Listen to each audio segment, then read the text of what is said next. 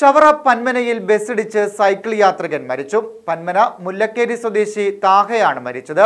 സൈക്കിളിൽ റോഡ് കുറുകെ കടക്കുമ്പോൾ കെ ബസ്സിടിച്ചായിരുന്നു അപകടം.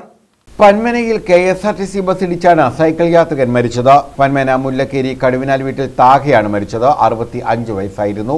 ദേശീയപാതയിൽ പന്മന ക്ഷേത്രഗോപുരത്തിന് സമീപം ഉച്ചയ്ക്ക് രണ്ടു മണിയോടെയായിരുന്നു അപകടം.